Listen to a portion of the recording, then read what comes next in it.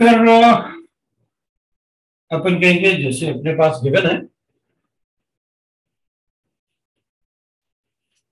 अब अगर कोई एरोमेटिक स्टेबलाइज डबल बॉन्ड्स है aromatic stabilise double bonds aromatic stabilise double bond है स्टेबल डबल बॉन्ड्स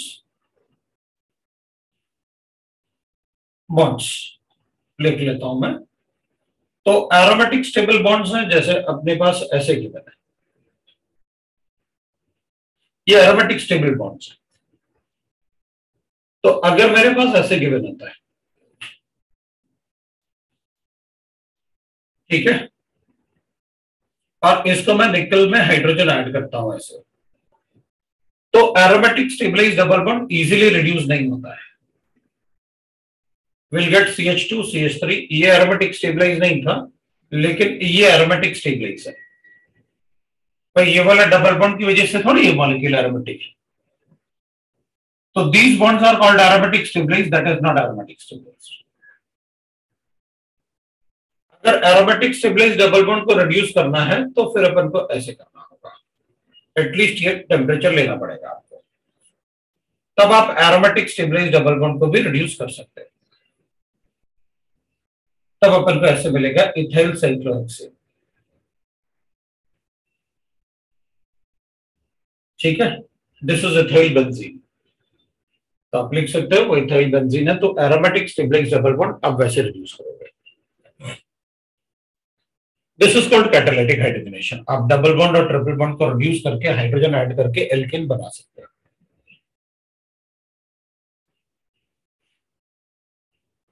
दूसरा एल्केन का प्रिपरेशन होता है from alkane elements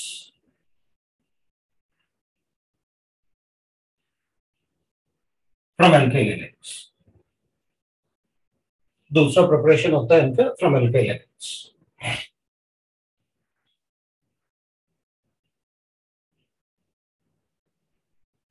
alkyl elements will write that. From alkyl elements. तो एल्काइल एलेंट्स मतलब? Alkyl elements R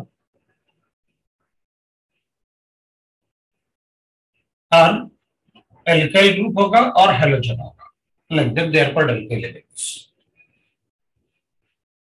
तो where halogen can be any F C L B R I लेकिन F generally use नहीं करते हैं।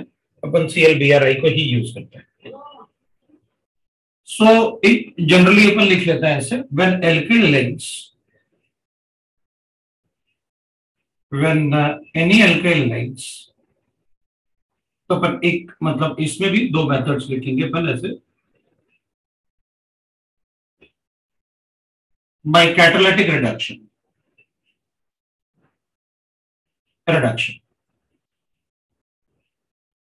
so when any alkyl halide is treated with alkyl halide halide with zinc in presence of any acid in presence of uh, any acid, we get alkane.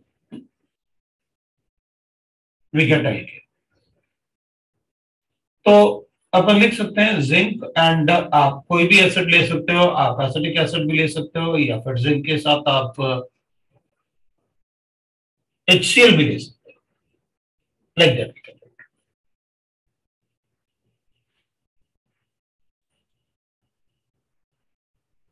तो अपन लिखेंगे, भाई, अपने पास अगर कोई एल्काइल एलाइड है, मान लो अपने पास ऐसे प्रोपाइल क्लोराइड है। दिस इज़ प्रोपाइल क्लोराइड और प्रोपाइल क्लोराइड को अपन रिएक्ट करते हैं जिंक के साथ। आप डायरेक्टली ऐसे लिख लो, कोई प्रॉब्लम नहीं है। आप जिंक को लिख लो और ऐसे एसिड लिख दो जिंकेड एसिड तो जिंक एसिडिक एसिड भी हो सकता है जिंक एचसीएल भी हो सकता है like that any acid we get the reaction as ये हेलोजन हटा के अपन प्रोपेन बना देंगे। ऐसे अपन प्रोपेन बना देंगे। बाकी अपन मतलब ऐसे कर सकते हैं that is propane plus zinc के सॉल्ट बना देंगे। अगर जिंक और एसिडिक एसिड दिए तो जिंक सॉल्ट बना देंगे। जिंक का सॉल्ट बना देंगे। अब अपन तो इससे कोई फ़र्क नहीं पड़ता कि मतलब किस टाइप के कंपाउंड में वो एडेड है। जैसे एग्जांपल हो गया अपने लिए। तो अगर मान लो अपने पास ऐसे कोई मतलब इससे अपन को फ़र्क नहीं पड़ेगा। मान लो अपने पास ऐसे गिवन है, एक कंपाउंड है, और उसमें ऐसे अपन को गिवन है। और इधर अपन ने C H two C L two ले लिया। और हमने उसको जिंक और एसिड के साथ रिएक्ट करवाया। दोनों में से कोई भी। तो विल राइट दैट कि भाई इसमें सिंस आपने कोई लिमिटेशन नहीं रखा हुआ है, आपको जिंक और एसिड है तो ये भी रिड्यूस होगा, ये भी रिड्यूस होगा। तो इसको तो अपन ऐसा लिख लेंगे भाई सी एच टू और सी एल हटा दिया हमने तो उसकी जगह एक एच और इसकी जगह भी एक एच ले लूँगा और zinc that will form a salt with the C L and B R तो अपन ऐसे लिख सकते हैं जिंक सी एल और बी आर के साथ ऐसे सॉल्ट बना देगा, उसमें Z N C L two हो जाएगा। तो like that we can write with zinc और acetic acid. Zinc or any acid you can take, we'll get the product.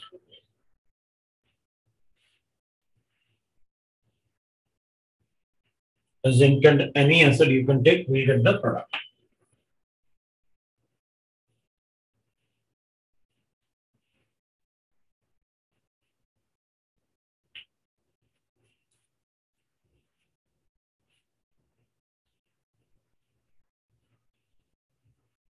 We can take any acid and we'll get the product.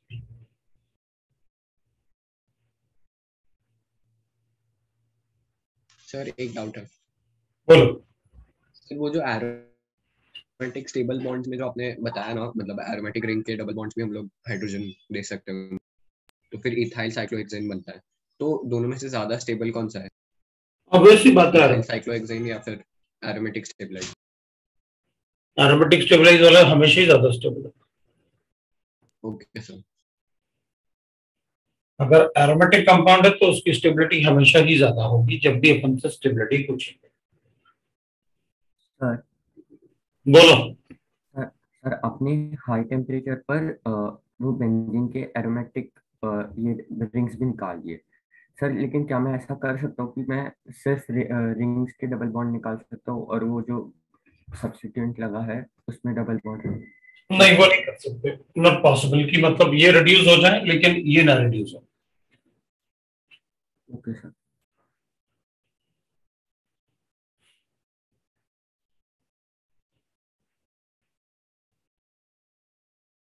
अगर आप चाहते हो कि ये बने और इसमें डबल बॉन्ड रहे तो आपको इससे वो कंपाउंड बनाना पड़ेगा लेकिन आप वैसे कर नहीं सकते।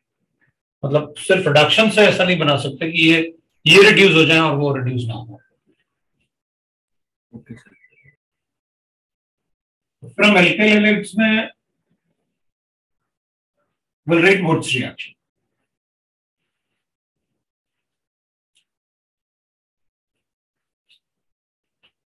So we'll write that when alkyl halides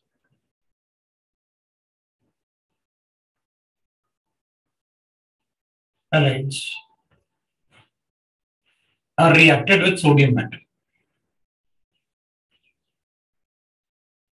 Sodium metal and dry ether. We get alkane.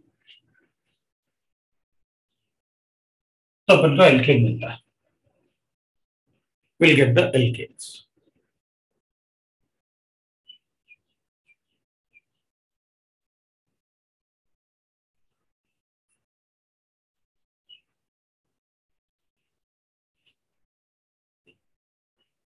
तो मेरे पास अगर एल्काइल एलाइड्स है एग्जांपल ले रहे हैं तो। कोई भी एल्काइल एलाइड्स है और उसमें सोडियम मेटल के साथ रिएक्ट करता हूँ। मुझे दो बोल्स एल्केल एलाइड लेना पड़ेगा। In dry ether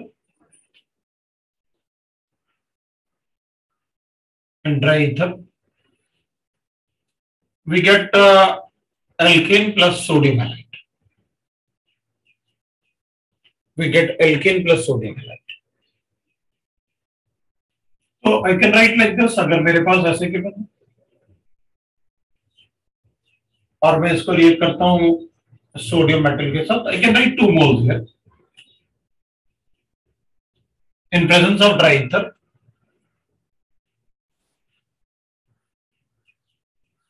dry ether I get the product दोनों को अपन कंबाइन कर लेंगे। Just twice of NaC.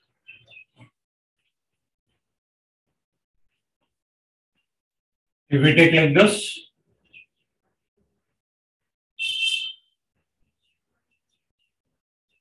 और फिर सोडियम मेटल के साथ रिएक्ट करवा देते हैं।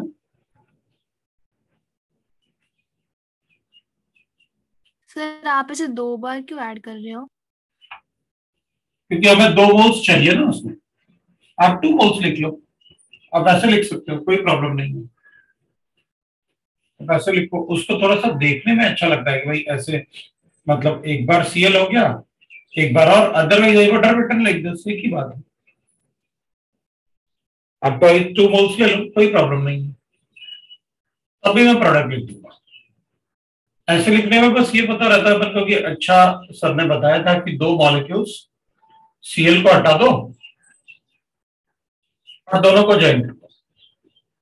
तो विल गेट द प्रोडक्ट मतलब ये कंबाइन होके कंडेंस होके दोनों प्रोडक्ट बनते हैं। तो डिपेंडिंग ऑन कि अपन को क्या बनाना है, उसके हिसाब से, जो अपन को बनाना होता है, उसके हिसाब से अपन स्ट्रक्चर ले लेते हैं। पहले आप बता दो कि क्या बनाना है, उसके हिसाब से मैं एलाइड ले लूँगा। तो इसलिए मैं दो बार लिखता हूँ बाकी ऐसा कुछ भी नहीं है। आप एक बार लिखोगे तब भी मतलब बस टू मोल्स चाहिए टू मोल्स कोई प्रॉब्लम नहीं।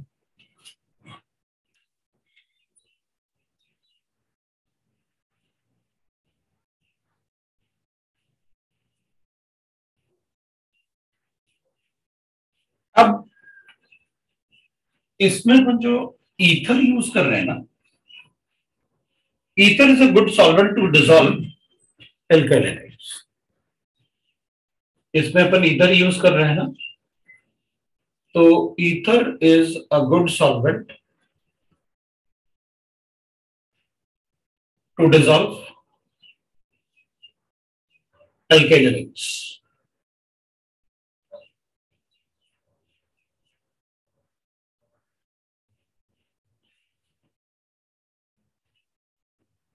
Sodium is uh, highly reactive. Even with moisture. Even with moisture. So, the condition must be dry. इसलिए अपन उसको ड्राई रख रहे हैं कि सॉल्वेंट भी ले रहे हैं लेकिन वाटर जैसा कोई सॉल्वेंट नहीं दिखना चाहिए वहाँ पर so condition must be dry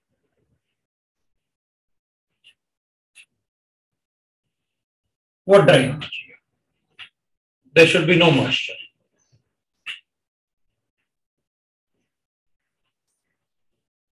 no moisture पानी तो छोड़ो, वहाँ पर मॉइस्चर भी नहीं होना चाहिए। That is what we mean by the dry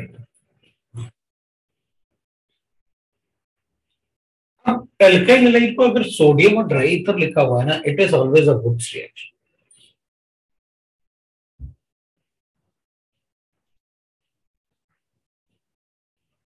मतलब अगर अपन ऐसे भी लिखेंगे।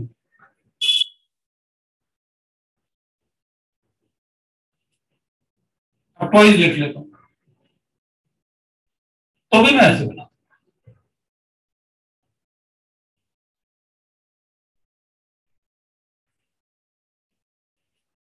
प्लस ट्वाइस मतलब अल्काइल हैलाइड को हमें दो अल्काइल हैलाइड को जोड़ दें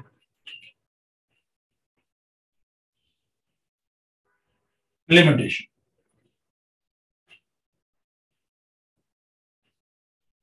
एक लिमिटेशन तो है। We cannot prepare methane by this method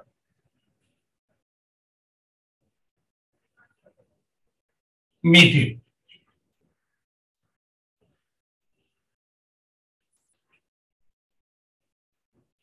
by this method भाई, कम से कम दो कार्बन तो लेने ही पड़ेंगे ना।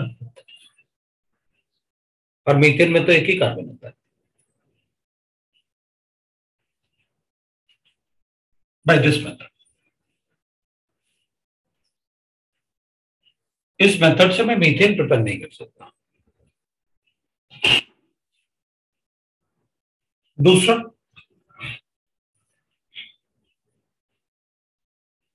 We cannot take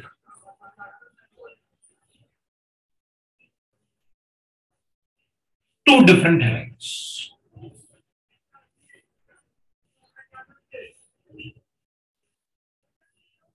for reaction. ये जो दो मोल लिख रहा था ना मैं तो फिर ऐसा नहीं कर सकते सर कि एक मोल ये ले लें और एक ये मोल ये ले लें, दोनों को कंबाइन करके उधर बना दें। वो नहीं कर सकते।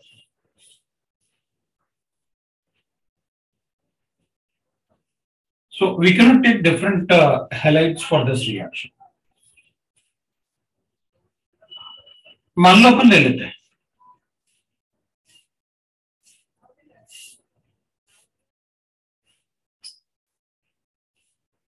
तो फिर इसमें ना we get mixture of alkanes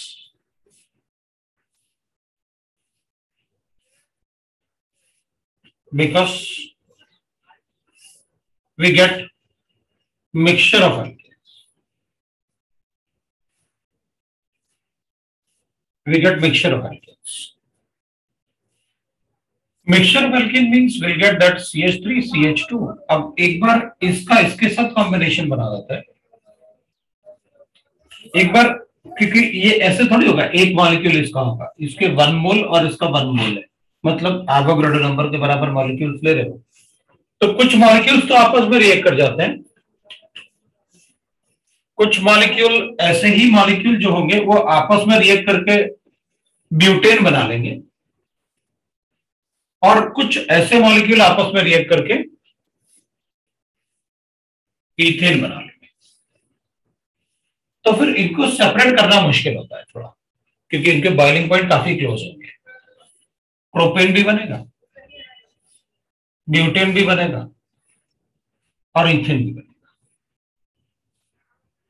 so it is difficult to separate जबकि इसमें अपने पास सिर्फ़ इथेन ही बन सकता है। चाहे ऐसे अपने आप में रिएक्ट करें या अपने आप में रिएक्ट करें अलग अलग रिएक्ट करें।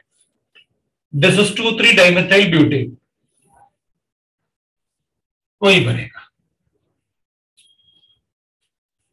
This is one two diphenyl ethane तो यहाँ तो वन टू डाइफिनाइल इथेन ही बनेगा।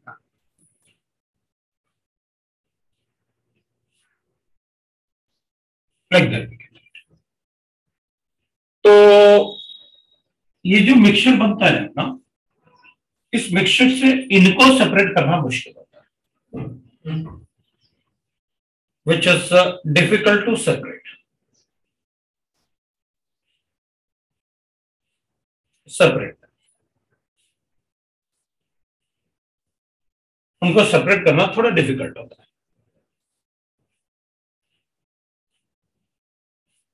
which is difficult to separate them.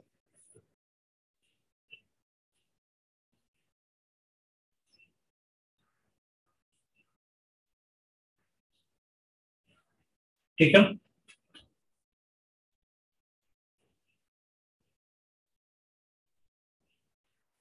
और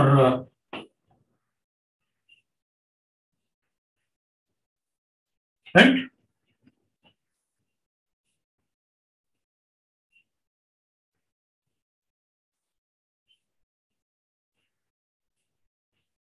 तो अपन कह सकते हैं कि भाई फिर अपन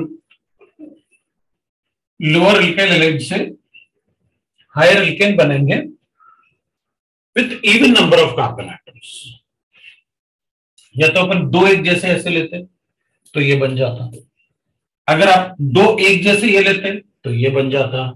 लेकिन दो डिफरेंट होंगे तो ही ऑड नंबर वाला बनेगा। सो ऑड नंबर वाला एल्केन अपन नहीं बना सकते। Thus we cannot prepare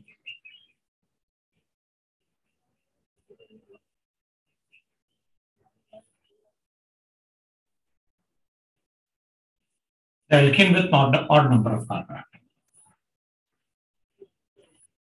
With odd number of carbon. Odd number of carbon.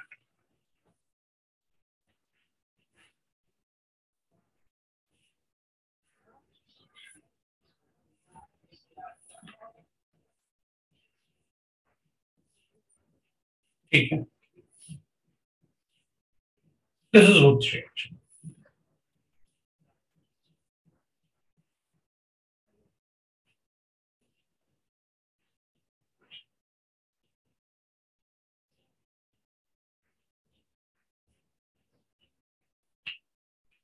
Well, it's the third method, that is decarboxylation.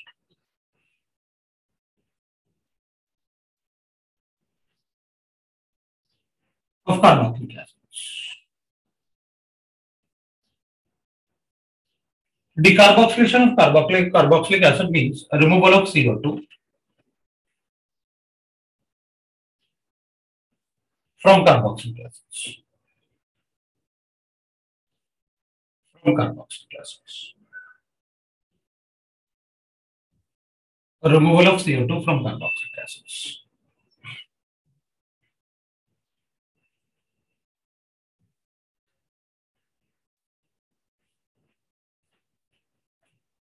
तो we can write like this कि भाई, अगर हमारे पास कोई कार्बोक्सिलिक एसिड है।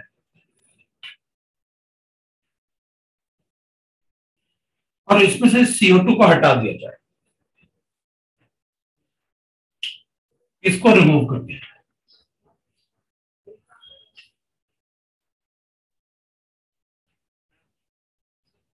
इसको रिमूव कर दिया जाए तो क्या बचेगा अपने पास? आर एच बचेगा अपने पास। दैट इज़ अल्किन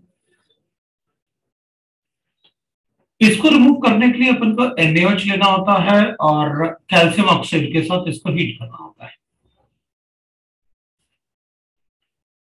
तो we get that R H plus N A two C three बनता है।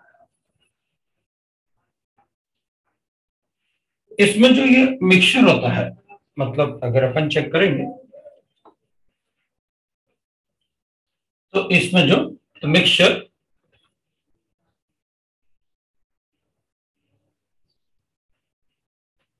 जो mixture NH plus calcium oxide है। Is called soda lime soda lime there is called soda lime NH NH जो होगा act as a catalyst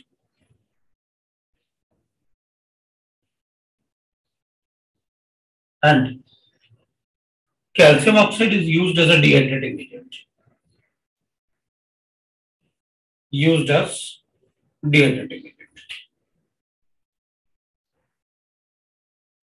Sir catalyst है तो हमने reaction में क्यों रखा लिखा है हम आयरो के ऊपर भी लिख सकते हैं ना मतलब हम्म, कैटलिस्ट उधर भी लिख।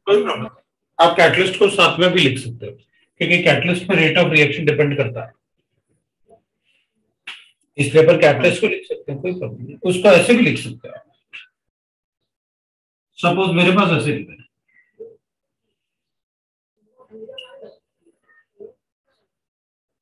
Is a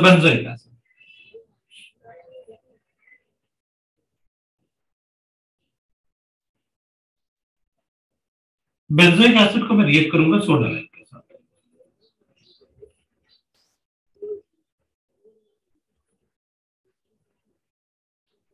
साथ CO2 को हटा दूँगा तो बेंजीन बनेगा we'll get benzene Na2 उसको दिखाने का मतलब पहले एसिड बेस रिएक्शन होगा। एसिड बेस के साथ रिएक्ट करेगा विल गेट अ सॉल्ट फिर सॉल्ट में वाटर तो बनेगा इसका हुआ और इसका हाइड्रोजन वो वाटर को ये पूरा एब्जॉर्ब कर लेगा मतलब पूरा रिएक्शन ड्राई स्टेट में होने वाला है। तो हाँ। हाँ बोलो। सर जैसे हमने यहाँ पर एक डिहाइड्रेटिंग एजेंट यूज़ किया सर तो हम उसमें वुड्स रिएक्शन में नहीं कर सकते क्या? किसी भी डिहाइड्रेटिंग एजेंट को यूज़ करके। हम्म। तो अलग से क्यों ऐड यस सर अलग से डिहाइड्रेटिंग एजेंट क्यों यूज़ करेंगे? उधर पानी वानी है क्या इनके साथ कोई? नहीं सर। हाँ तो पानी है, पानी है तो डिहाइड्रेट हाँ तो पानी है तो आप डिहाइड्रेट करके ही तो उसको रिएक्शन करोगे। तो एक्स्ट्रा पर केमिकल क्यों यूज़ करें?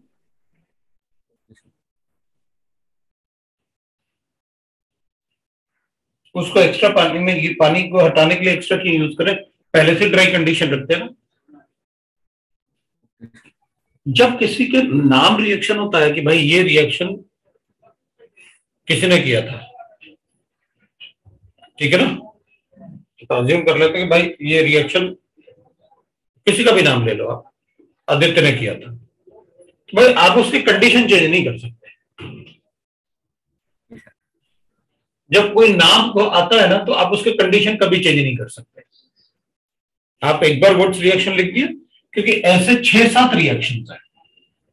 मैं पहले सोचा लिखूं क्या? अभी मत लिखू। फ़र्स्ट राउंड में जाना। उतना ही लिखते हैं जितना स्कूल और मेंस में पूछे गए।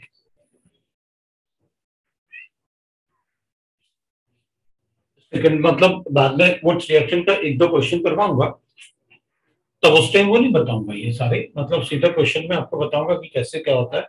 क्योंकि इसमें तो मैकेनिज्म भी होते हैं ना reaction follows free radical mechanism अब फ्री रेडिकल क्या होता है, ये बताओ पहले। तो फ्री रेडिकल थोड़ा सा, अभी अपन पढ़ेंगे तो थोड़ा प्रॉपर्टीज़ में फ्री रेडिकल के बारे में थोड़ा एक्स्ट्रा बताऊँगा, कि रेडिकल मैकेनिज्म क्या होता है free radical mechanism free radical तो आपको पता है क्या होता है। और धीरे धीरे धीरे स्टेप बाय स्टेप में बताता हूँ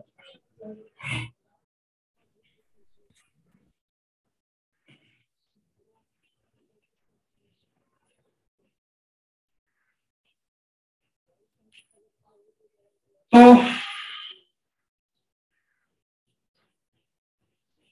अभी जितना अपन ने पढ़ लिया, इतने में तो मेरा सवा दो घंटा सवा दो घंटे का एक क्लास खत्म हो जाता है। खुद ने इतना ही पढ़ पाता तो अपन धीरे धीरे धीरे धीरे मतलब उसमें फिर बहुत ज़्यादा पढ़ने की ज़रूरत नहीं अपन सेकंड राउंड में जो पढ़ेंगे, उसमें थोड़ा सा और एक्स्ट्रा कर लेंगे भाई। फिर बाद में ये नहीं होता ना कि यार ये चैप्टर खत्म नहीं है मेरा, ये चैप्टर खत्म नहीं है। अभी अपन इतना तो पढ़ ही लेते हैं ना, जितना मेन्स और स्कूल के लिए आता है। फिर सेकेंड राउंड एक और करेंगे। हम कार्बोक्सिलिक एसिड से अगर एक पढ़ते हैं, जैसे फिर नेम रिएक्शन आ गया cold base reaction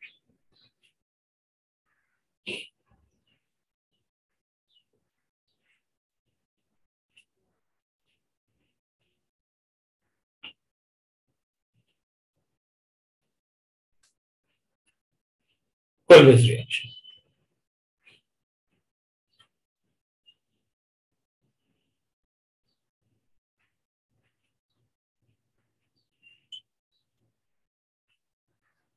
on the electrolysis of?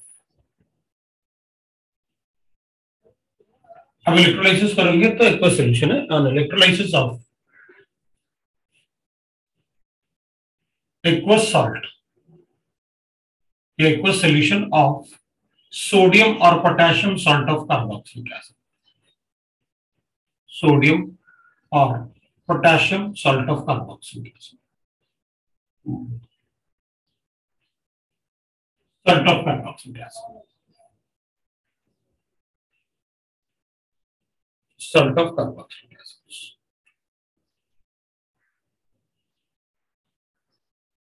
carboxylic acid तो बिल्कुल पता है क्या होता है? और कार्बोक्सिलिक एसिड में अगर ये लिखा हुआ है ना सोडा लाइन फिर आपको कुछ भी नहीं सोचना है सीओ टू हटा के बाकी जॉइन कर देना तो write like this, एक एग्जांपल ले लेते हैं। मान लो मेरे पास ऐसे कार्बोक्सिलिक एसिड के सॉल्ट है, ये तो कार्बोक्सिलिक एसिड होता है। इसको सोडियम जैसे NaOH से रिएक्ट करूँगा तो सोडियम एसिटेट बना बनेगा और वाटर बनेगा। तो इसको sodium salt of carboxylic acid अपन ऐसे लिख सकते हैं। सोडियम सॉल्ट ऑफ़ कार्बोक्सिलिक अब इसके दो मोल्स लिख लेता हूँ ऐसे, अगर आप अलग अलग भी लिख सकते हो, एक साथ भी ऐसे लिख सकते हो। और फिर इसके इलेक्ट्रोलाइसिस के लिए इसमें खूब सारा पानी डाल देते ऑब्वियसली बात है एक्वा सोल्यूशन है तो पानी तो बहुत सारा होगा ही होगा अब इलेक्ट्रोलाइसिस कर लेते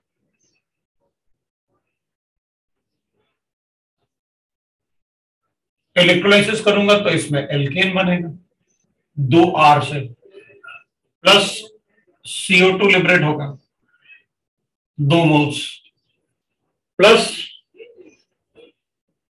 एनएच बनेगा, दो मोल्स और plus H two gas liberate होगा। ये बनेगा एनएच है, दो मोल्स और एच टू लिबरेट इलेक्ट्रोलाइसिस अपन सबको पता है क्या होता है। ये दोनों जो होते हैं, वो एनोड पे बनेंगे। और ये दोनों जो है, वो कैथोड पे बनते हैं। कैथोड ये दोनों ही एनोड पे बनेंगे, ये दोनों ही कैथोड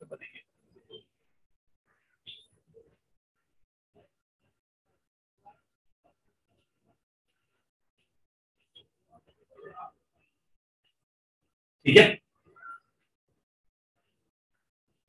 अब इलेक्ट्रोलाइसिस तो वैसे अपन ने पढ़ा हुआ है। What is electrolysis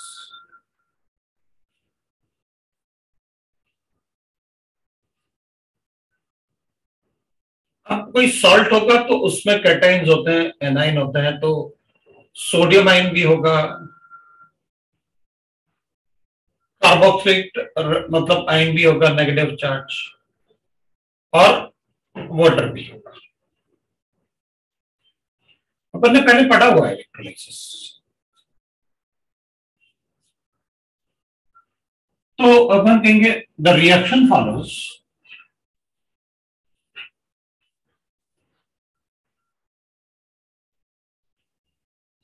this reaction follows free radical.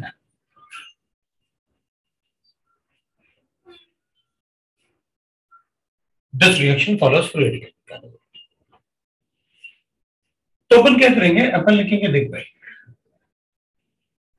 अगर फ्री रेडिकल मैकेनिज्म शो करना है तो पहले तो अपन इलेक्ट्रोलाइसिस करेंगे तो जो वाटर का रिएक्शन होता है ना मतलब इधर इलेक्ट्रॉन अंदर आएगा, इधर से इलेक्ट्रॉन बाहर जाएगा। मैंने पहले आपको बता रखा है। जितना इलेक्ट्रॉन अंदर आएगा, उतना इलेक्ट्रॉन बाहर भी जाएगा। रिएक्टिविटी सीरीज़ के हिसाब से वाटर का इलेक्ट्रॉन गेन करने का टेंडेंसी सोडियम से ज़्यादा है। तो मैं कैथोड रिएक्शन लिख देता हूँ। एट कैथोड कैथोड पे तो कुछ वाटर का रिएक्शन लिखेंगे और मैंने आपको रिएक्शन लिखना बताया था। वो इलेक्ट्रॉन गेन करेगा तो कैसे बैलेंस करेंगे? OH से बैलेंस करोगे आप? इधर ओ OH हो गया और H2 लिख लो आप। है ना? बैलेंस है रिएक्शन आपका। चार्ज भी बैलेंस है, सब बैलेंस है। तो जब वाटर रिएक्ट करेगा कैथोड पे तो एक ओ OH बनेगा और हाफ़ मोल्स एच टू बनेगा। मतलब यहाँ पर एच टू गैस लिबरेट होगा। और जो हाफ़ मोल ओ OH बनेगा ना, जो ओ OH बनेगा इसमें हाफ़ मोल H2 बना और जो ओ OH बनेगा, वो ओ OH सोडियम के साथ सोल्यूशन में NaOH बना देगा।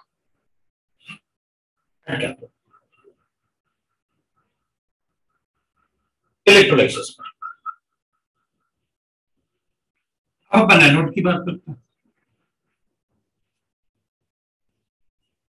Electrolysis is a endothermic process क्योंकि अपन बाहर से एनर्जी देते हैं ताकि रिएक्शन हो जाए।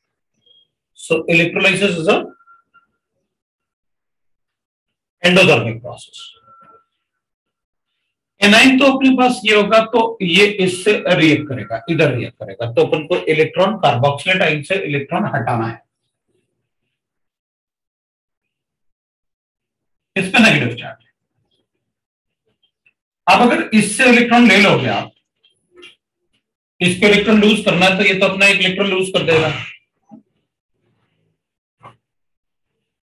तो आई गेट दैट एक इलेक्ट्रॉन लूज करेगा तो ऑब्वियस सी बात है मेरे पास ऑक्सीजन के पास ऑड इलेक्ट्रॉन आ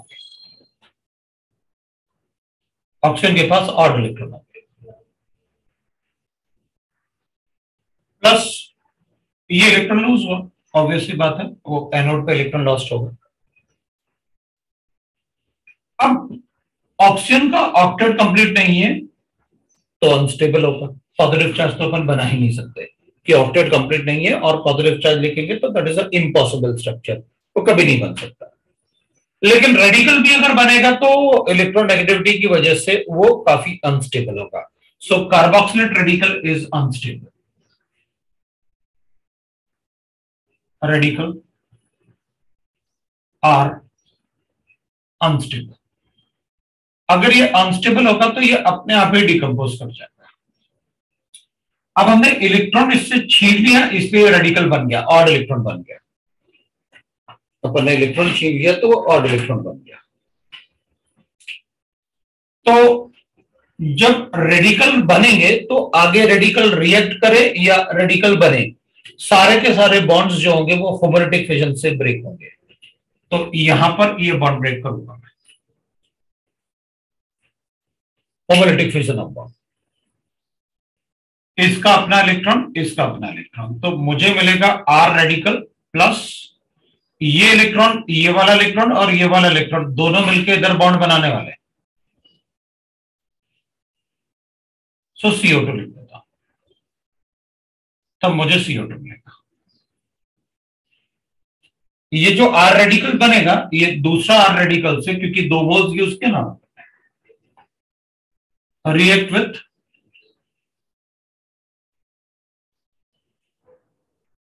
another R radical.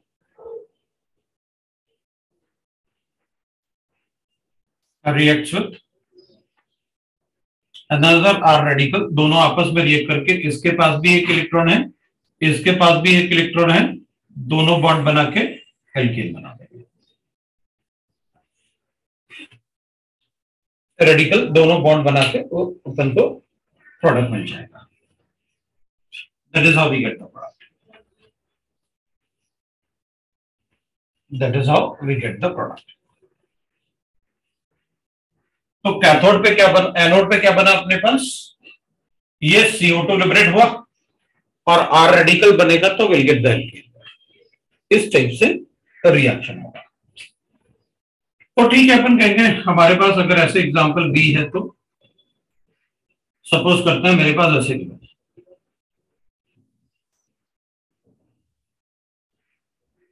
और मैंने इसके दो मोल्स लेके इलेक्ट्रोलाइसिस किया।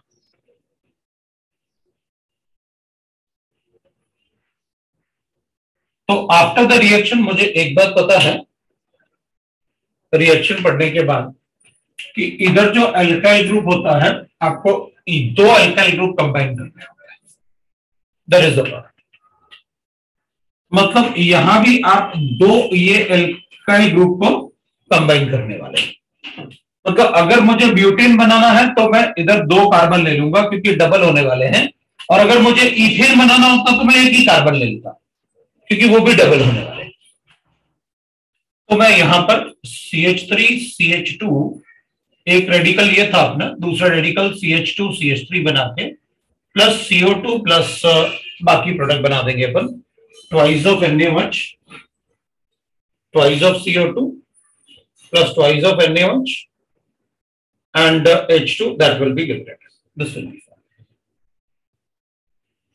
So that is the electrolysis product, Kolbe's electrolysis product.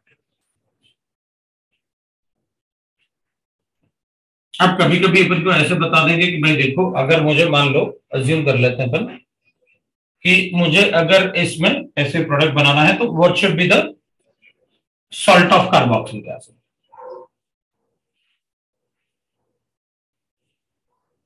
ठीक है? तो उन्होंने कहा, मुझे ये कंपाउंड बनाना है इलेक्ट्रोलाइसिस इलेक्ट्रोलाइसिस से मुझे ये बनाना है। तो आप कैसे बनाओगे?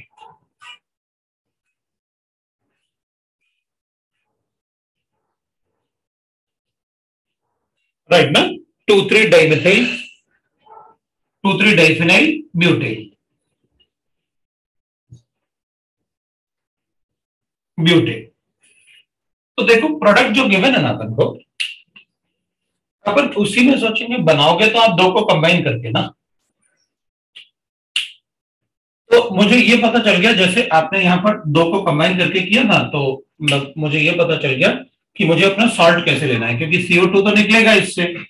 तो मैं अपना सॉल्ट जो ले लूँगा, उसको सिमेट्रिक होगा वो, अपन ऐसे बना लेंगे। ये ये मेरा सॉल्ट प्लस टू इलेक्ट्रोलाइसिस हो जाएगा।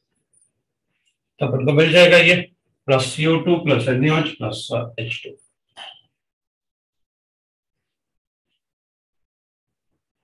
plus that is H two ये लगा प्रोडक्ट तो डिपेंडिंग ऑन कि मतलब क्या प्रोडक्ट रिक्वायर्ड है, अपन रिएक्टेंट भी डिसाइड कर सकते हैं।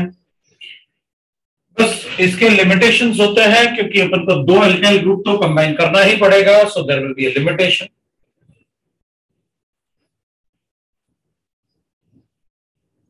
we cannot prepare methane by this method.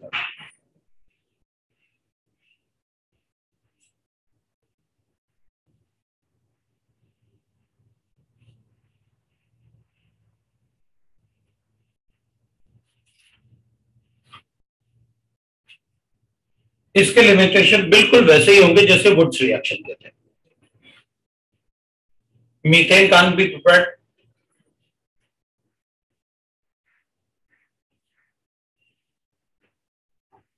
only symmetrical alkane है? Alkane can be prepaid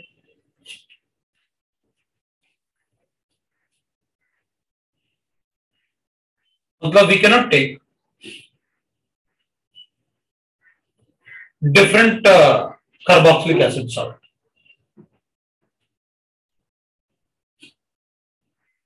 Carboxylic acid salt.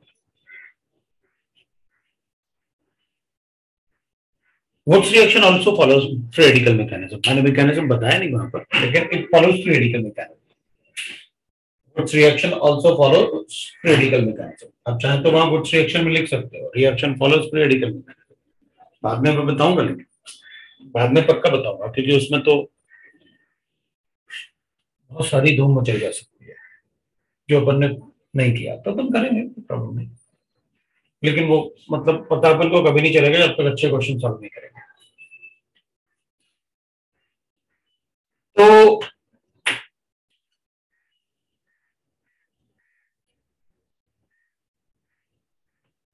uh, preparation methods for uh, alkenes. These are the method of preparation of alkenes.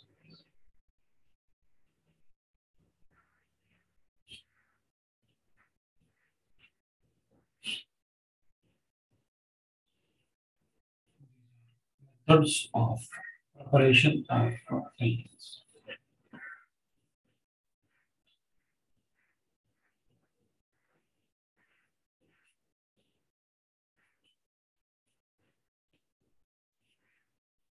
methods of preparation of alkenes. We can write the properties of alkenes.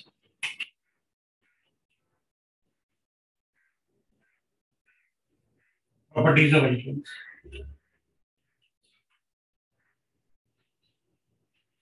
Properties of alkenes में कुछ तो अपन पहले physical properties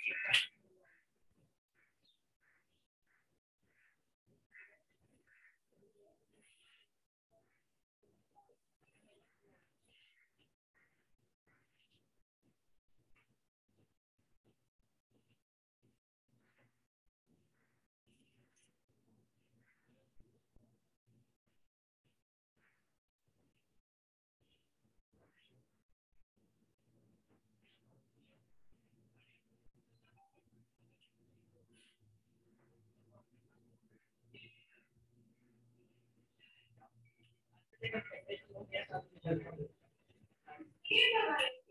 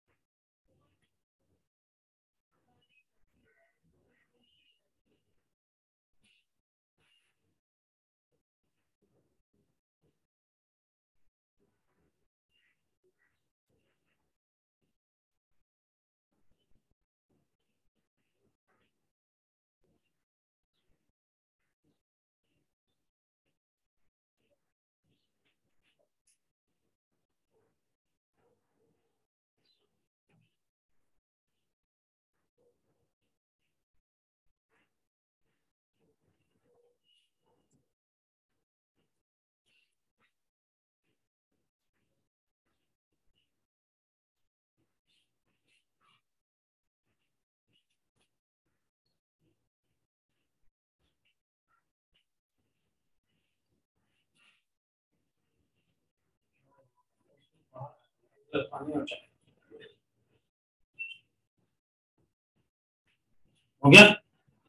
शुरू करता हूँ physical properties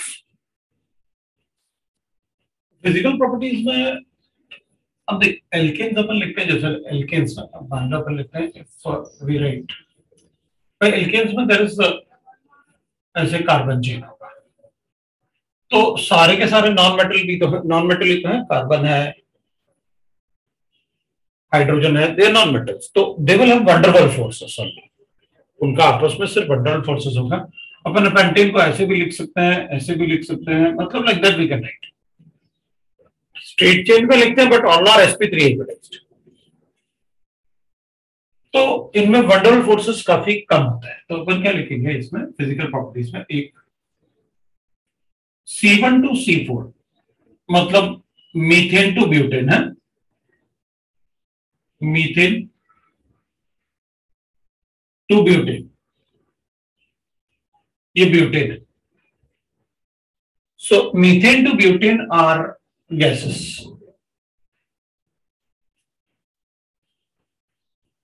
C5 to C17 they are liquids and uh, C18 onwards they are gases they are solids Onwards are solids क्योंकि जैसे जैसे नंबर ऑफ़ कार्बन एटम बढ़ेंगे सरफेस एरिया बढ़ेगा सरफेस एरिया बढ़ेगा तो van der force of attraction बढ़ेगा। Attraction बढ़ेगा तो the gases will convert into liquid liquid will get convert into solids तो जैसे अपन घर में यूज़ करते हैं ब्यूटेन यूज़ करते हैं it will be a normal butane it can be isobutane but घर में जो अपन सिलेंडर में यूज़ करते हैं, वो ब्यूटेन होता है। That's why we say that it is a वो लिक्विड और गैस दोनों का कॉम्बिनेशन लिक्विफाइड पेट्रोलियम गैस उसमें नॉर्मल ब्यूटेन भी होता है और आइसो ब्यूटेन भी होता है। उसमें नॉर्मल ब्यूटेन भी होता है और आइसो ब्यूटेन भी होता है।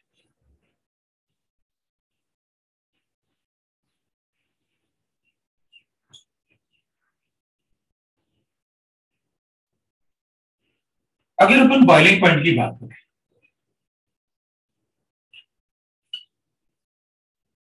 So boiling point will be directly proportional to molecular weight.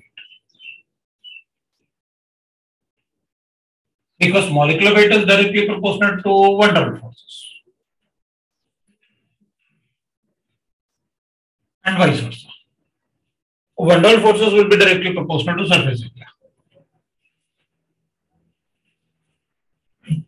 मतलब boiling point is I can say that boiling point directly proportional to van der forces I can say boiling point directly proportional to surface area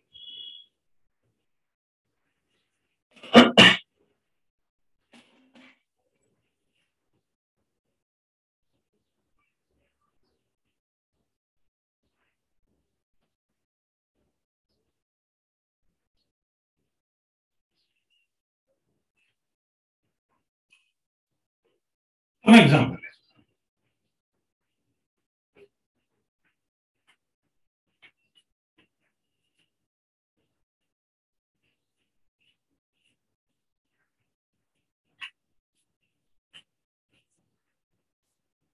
मॉइंटमेंट of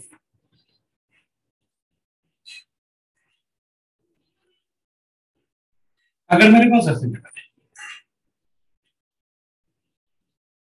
तो this will be greater than this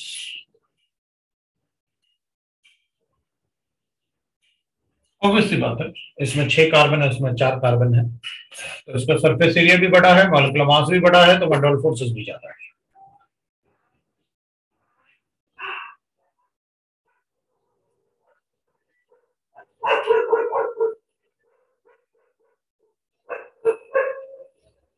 Boiling point of uh, this. Will be greater than.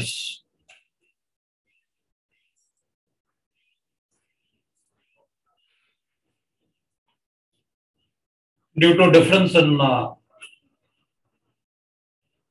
molecular weight. Branching always decreases the boiling point. branching always uh, decreases the boiling point. Boiling point. Branching always decreases the boiling point.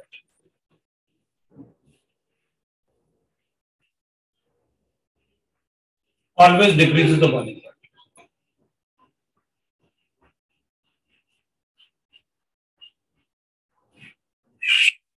Here if you check that the molecular mass is same, number of carbon atom दोनों में same.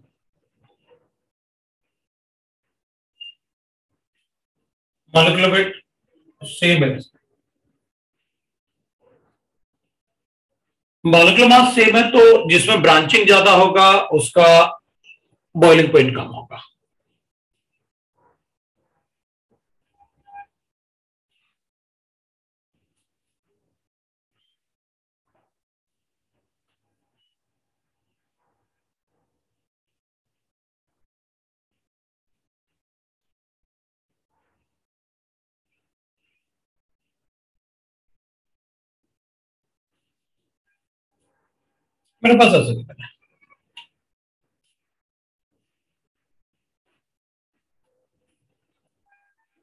इसमें छह carbon atom है, इसमें पाँच carbon atom है।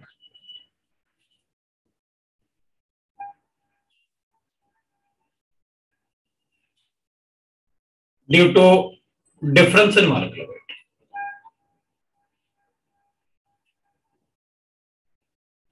तो इसका मॉलिकुलर मास ज़्यादा है ना, उसमें छह कार्बन एटम है। ब्रांचिंग है तो क्या होगा? ब्रांचिंग से आप मॉलिकुलर मास थोड़ी, वो बॉइलिंग पॉइंट थोड़ी बढ़ा दोगे। जब बॉइलिंग पॉइंट जब ब्रांचिंग होता है मॉलिकुलर मास सेम तो अपन कहते हैं बॉइलिंग पॉइंट में, जिसमें ब्रांचिंग है उसका कम होगा। लेकिन यहाँ तो कार्बन इसमें कम है। अगर नंबर ऑफ़ कार्बन ज़्यादा है तो बॉइलिंग पॉइंट ज़्यादा ही होगा।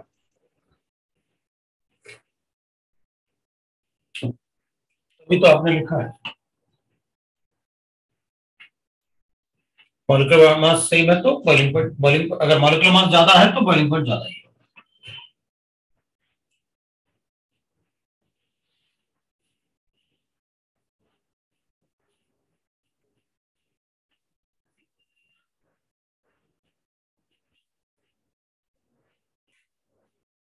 write chemical properties.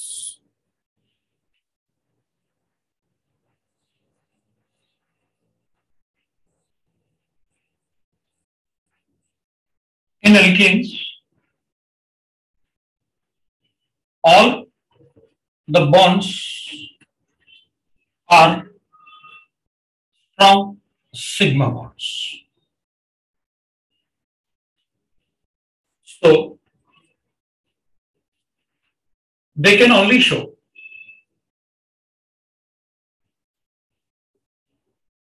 substitution reaction. Substitution reaction.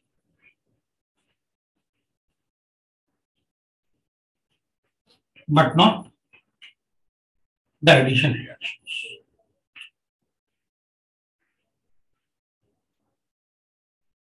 Addition reaction is only possible when there is a pi bond in the molecules. Addition reactions is only possible only possible when there is a pi bond.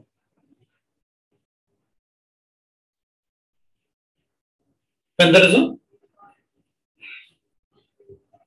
pi bond in molecule. When there is a pi bond in molecule.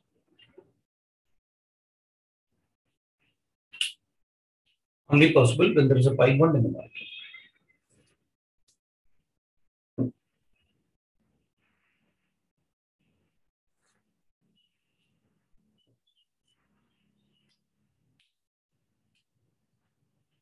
So we'll write that properties, no? chemical properties. No? Sir, camera. The most important uh, chemical property is uh, halogenation.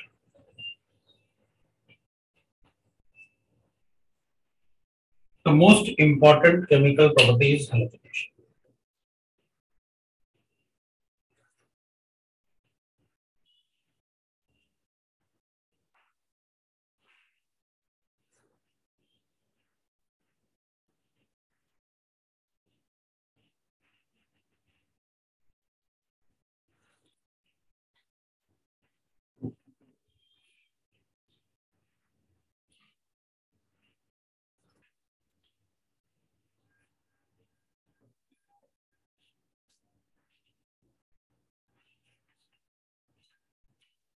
The most important chemical property is halogenation.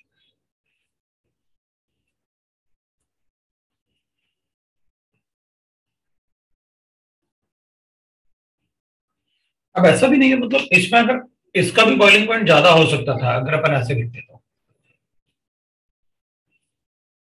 मतलब और branching करते तो और कम हो जाएगा। Branching always decrease the boiling point branching मतलब इसमें ना अगर ऐसे होता है, इसमें और ब्रांचिंग करेंगे तो इसका ज़्यादा हो जाएगा उससे।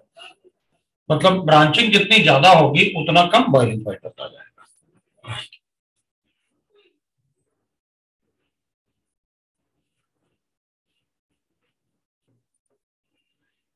हेलोजिनेशन का मतलब हो गया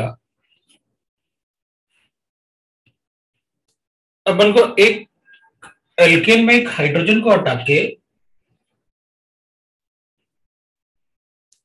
को एक हेलोजन ऐड करना है। हाइड्रोजन को हटा के एक हेलोजन ऐड करना है।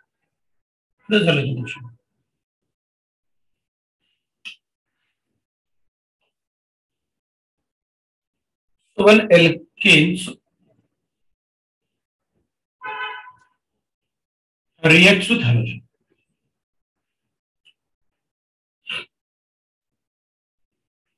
this is substitution reaction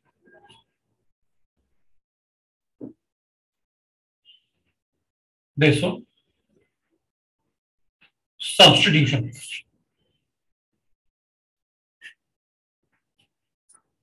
They will show the substitution reaction.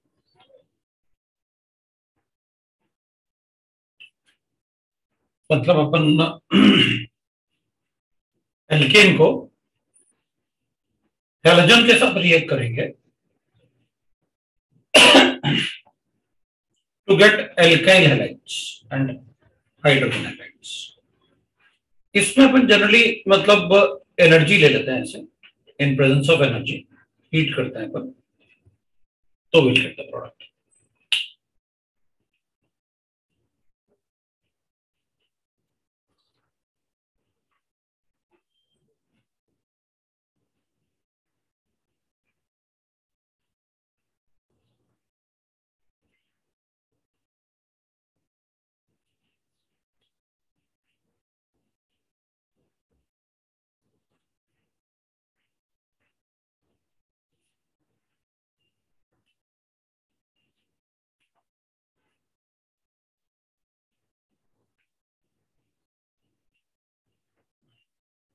सारे सिग्मा बॉन्ड होने की वजह से ना तो वो एसिड से रिएक्ट करते हैं, ना बेस से रिएक्ट करते हैं।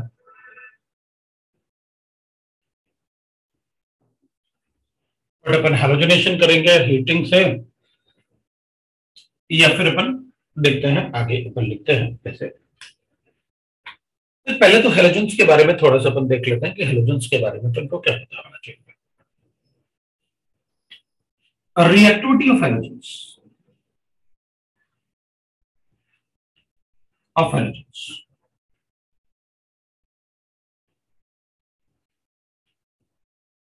Fluorine की रिएक्टिविटी बहुत ज़्यादा होती है क्लोरीन से। क्लोरीन की रिएक्टिविटी ज़्यादा होती है ब्रोमीन से और ब्रोमीन की रिएक्टिविटी होती है आयोडीन से। दिस इज़ हाईली रिएक्टिव और वो रिएक्शन करके एक्सप्लोड होता है। एक मतलब ज़्यादा रिएक्टिव है कि अगर एल्केन में ऐड करेंगे तो एक्सप्लोड होगा। सो so, इसलिए अपन जनरली फ्लोरिनेशन नहीं करते। Reacts explosively. बट uh, इसका रिएक्टिविटी थोड़ा कम है तो वो रूम टेम्परेचर पर भी रिएक्ट कर जाता है।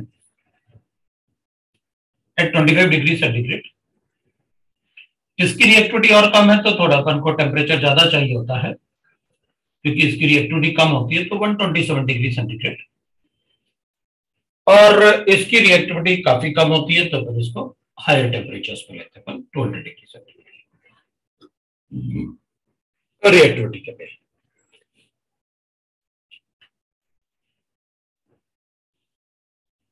The reaction follows, these all reaction follows free radical mechanism. The reaction follows, they react with alkane, with alkane via free radical. radical mechanism. All free radical mechanism take place in three steps. All free radical mechanism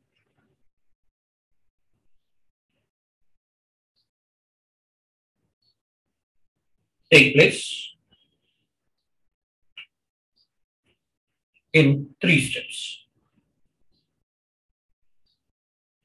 Step one लिखते हैं अपन that is uh, chain uh,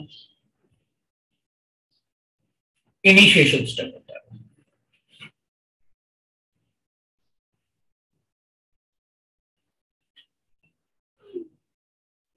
उसको अपन कहते हैं chain initiation step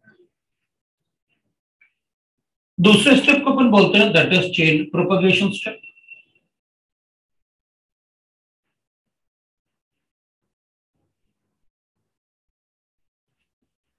और third होता है chain termination step step three होता है that is called chain termination step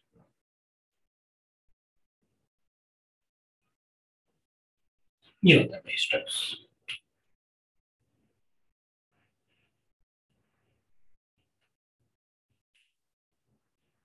अब अपन एक एग्जांपल लेके और देख लेते हैं, एक एग्ज़ाम्पल पढ़ते हैं। और उसका फ्रेडिकल मैकेनिज्म देख लेते हैं। अपन एक एग्जांपल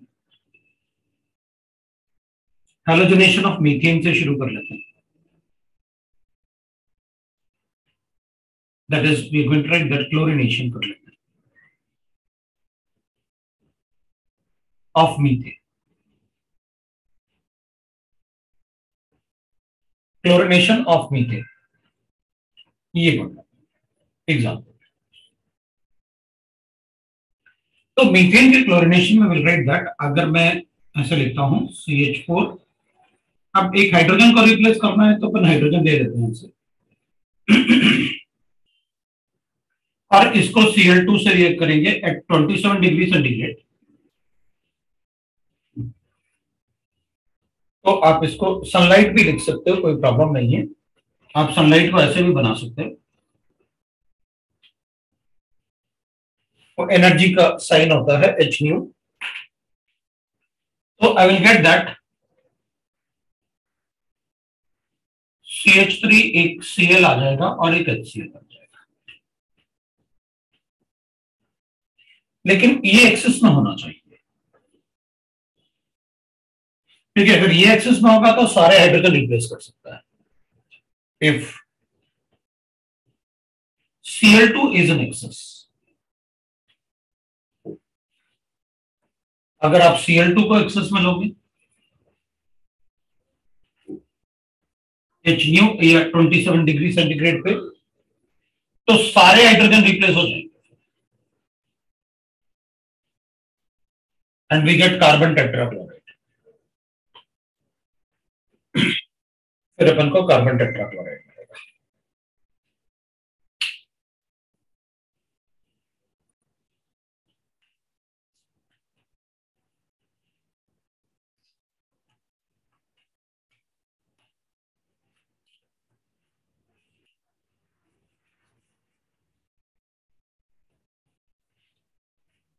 इसका जो मैकेनिज्म है ना फ्री रेडिकल मैकेनिज्म वो देखेंगे अपन एक बार कि भाई फ्री रेडिकल मैकेनिज्म कैसे है।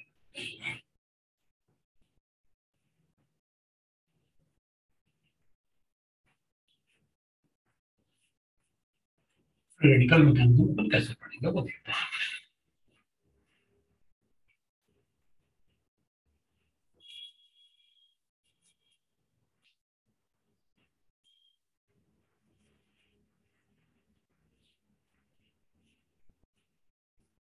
रेडिकल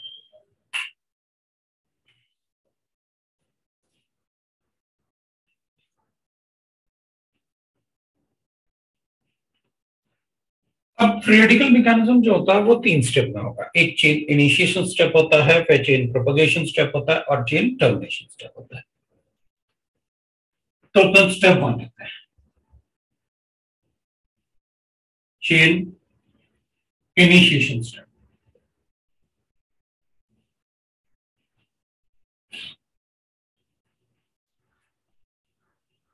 तो इस स्टेप में अपन क्या करेंगे? फ्रेडिकल जनरेट करता है। Generate free radical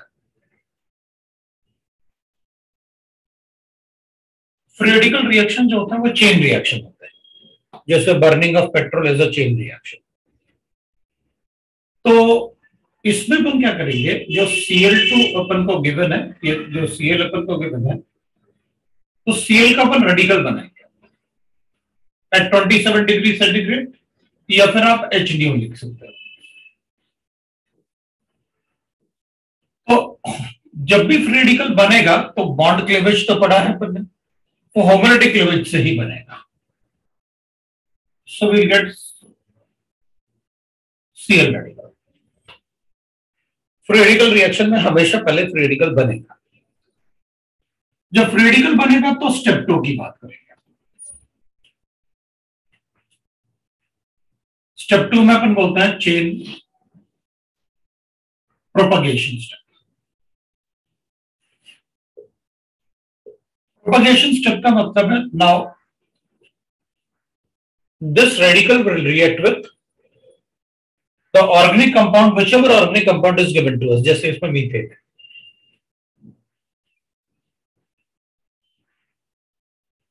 reaction with organic compound जो भी अपन का ऑर्गेनिक कंपाउंड गिवन है, उसके साथ रिएक्शन होगा रेडिकल का. तो अब ये जो रेडिकल बनाया अपन ने ये रेडिकल ऑर्गेनिक कंपाउंड के साथ रिएक्ट करेगा। तो यहाँ भी होमोलिटिक फिजन ऑफ़ बॉन्ड होगा। तो फिर ये फ्री रेडिकल बनेगा।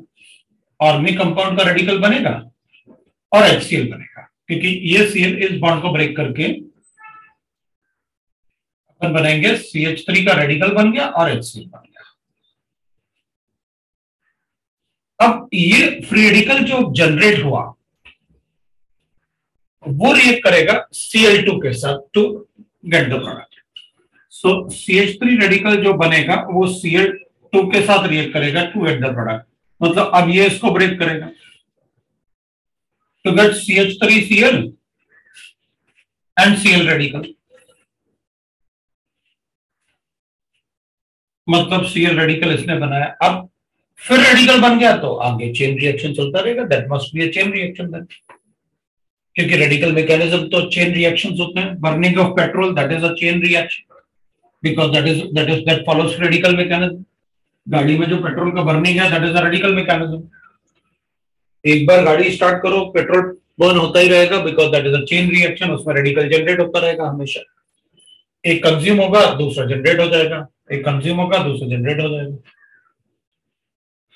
फिर ये इसके साथ रिएक्ट करेगा। सो राइट लाइक दिस ये इसके साथ रिएक्ट करेगा तो फिर बॉन्ड ब्रेक होगा। I get again a radical plus HCL बनेगा, ये फिर सीएल टू से रिएक्ट करेगा। फिर Cl2 से रिएक्ट करूँगा तो CH2 Cl2 बनेगा, फिर रेडिकल जनरेट होगी। ये वापस उससे रिएक्ट करवाया आपने। फिर ब्रेक करेगा तो ये इससे रिएक्ट किया तो we get this again radical generate होगा। तो ऐसे हर बार ना, जब तक इसमें हाइड्रोजन रहेंगे, तब तक वो रिएक्शन कर सकता है। लेकिन वो डिपेंड करेगा, अगर ये एक्सिस में है मीथेन तो फिर अपन को सिर्फ़ ये बनेगा अगर मीथेन एक्सेस में है। क्योंकि ये रेडिकल वापस मीथेन से रिएक्ट कर जाएगा, अगर वो एक्सेस में है तो।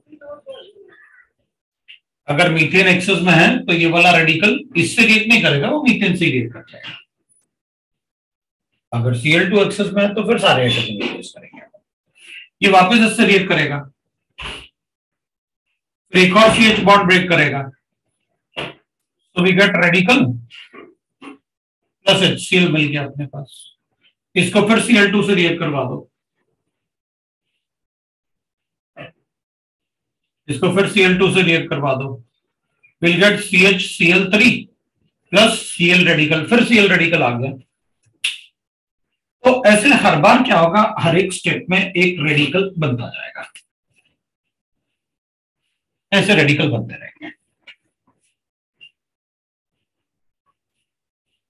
तो फिर ये हर एक स्टेप में अपन एक रेडिकल बनाते रहेंगे। सो विल गेट दैट कि भाई विल हैव सी एच इधर अपन एच बनाया तो सी एच रेडिकल था। Cl2 इसके इसको Cl2 से रिएक्ट करूँगा I get that CH plus Cl radical फिर रेडिकल बनेगा तो फिर रिएक्ट करेगा। तो बनाएगा CCl3 रेडिकल प्लस HCl और फिर सीसीएल थ्री रेडिकल बनेगा तो वापस रिएक्ट करेगा। सीएल टू के साथ। सीएल टू से रिएक्ट करवाया तो सीसीएल फोर बन गया और फिर सीएल रेडिकल बन गया। अब इसके पास हाइड्रोजन है ही नहीं तो रिएक्शन क्या करेगा? वापस सीएल सीएल का बॉन्ड थोड़ी ब्रेक करेगा। तो फिर अपन कहेंगे स्टेप चेन टर्मिनेशन स्टेप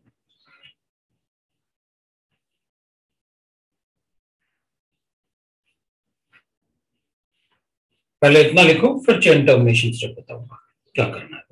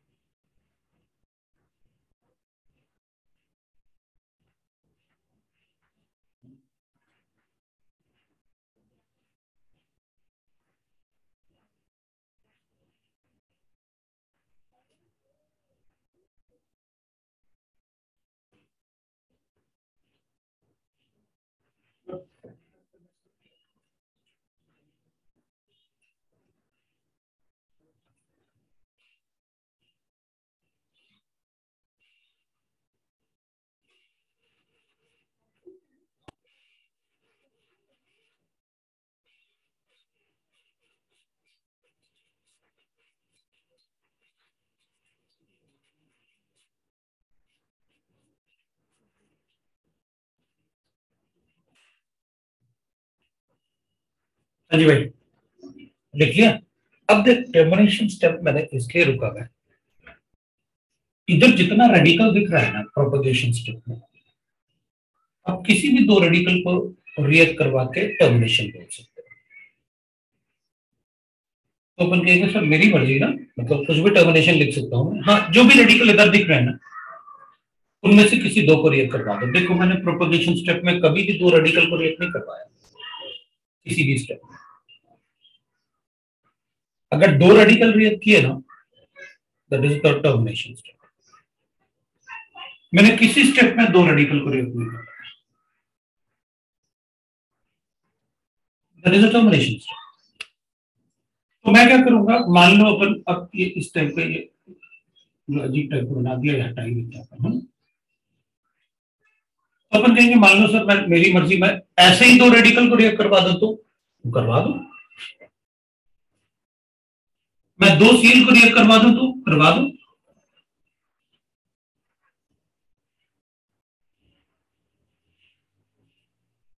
ऐसे करवा दो तो हाँ करवाओ, कोई प्रॉब्लम नहीं। It can be the termination step अगर मैं ऐसे रिएक्ट करवा दूँ, सर तो करवाओ, कोई प्रॉब्लम मतलब कोई भी दो रेडिकल को रिएक्ट करवा दो this all can be the termination step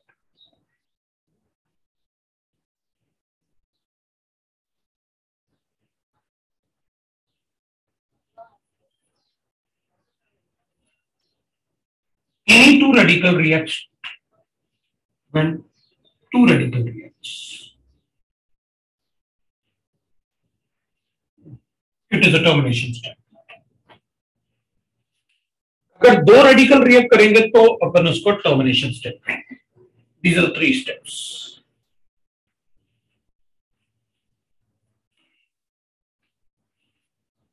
these are three steps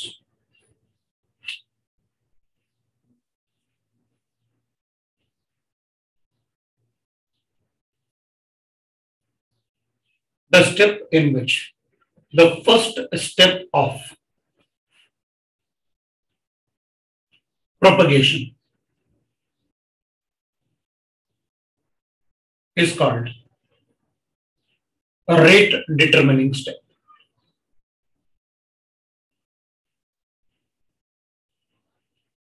That is called a rate determining step. which decides the rate of reaction कि एक्चुअल में कितना रेट से रिएक्शन होगा which decides the rate of reaction.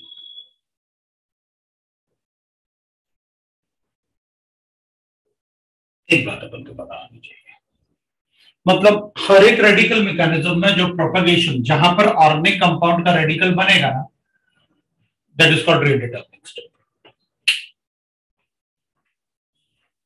सभी organic reactions में जिस step में organic compound का रेडिकल बनेगा that is called rate determining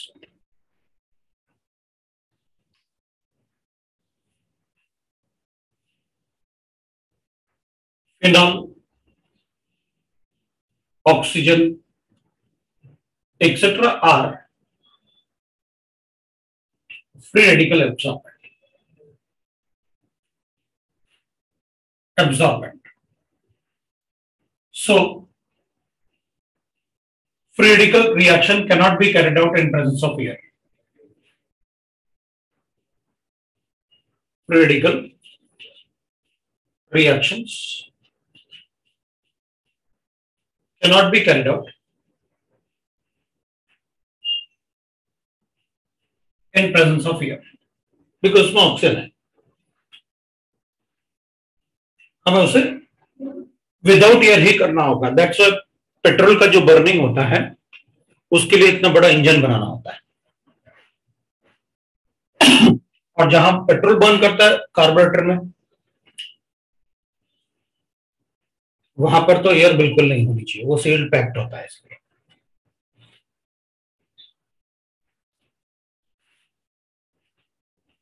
radical reactions are carried out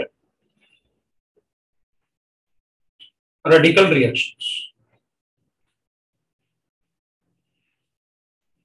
carried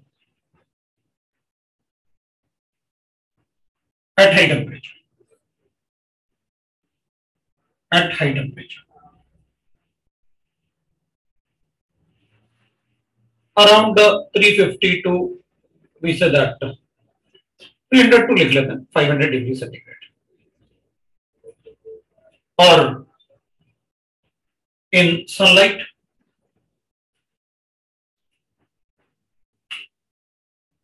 or UV radiation or depending on the conditions depending on the conditions अपन ऐसे कर सकते हैं जैसे क्लोरिनेशन तो सनलाइट में ही हो जाएगा और 27 डिग्री सेंटीग्रेड पे रिएक्टिविटी पे डिपेंड करेगा but they can be carried out even at low temperature.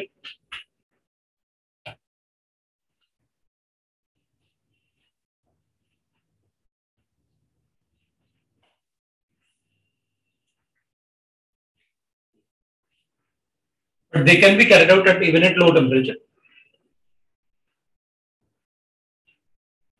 Carried at low temperature.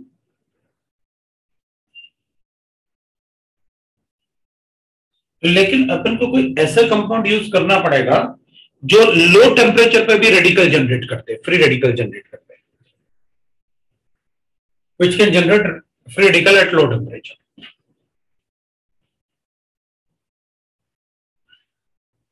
cold condition है मतलब ज़ीरो डिग्री सेंटीग्रेड या उससे कम। If we use free radical generator initiator like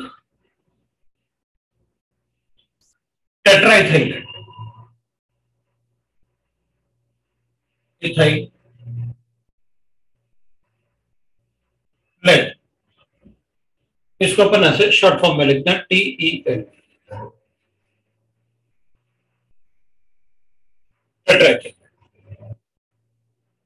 which is used in petrol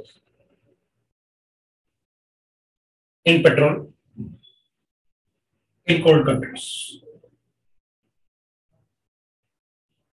मतलब cold countries में जैसे Siberia वगैरह है, वहाँ तो माइनस ट्वेंटी पे तो मतलब आम बात है। फिर गाड़ी स्टार्ट कैसे होगी? तो टेट्राथाइल लेड डाल देते हैं उसमें। वो लेडेड पेट्रोल होता ना which is harmful we know that लेकिन फिर भी उसको ऐड करना होता है कोल्ड कंट्रीज़ में, जहाँ ठंड होती है। अपने यहाँ भी विंटर्स में मतलब ऐड करते हैं। मुंबई में नहीं बट नॉर्थ इंडिया में काफ़ी ज़रूरत पड़ती है इथाइल लेड की लेडेड पेट्रोल की। तो फिर यूज़ करते हैं उसको। तो वहाँ पर रेडिकल मैकेनिज्म कर सकते हैं।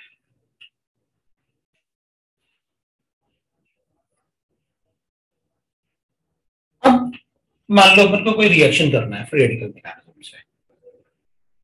कुछ एग्ज़ाम्पल ले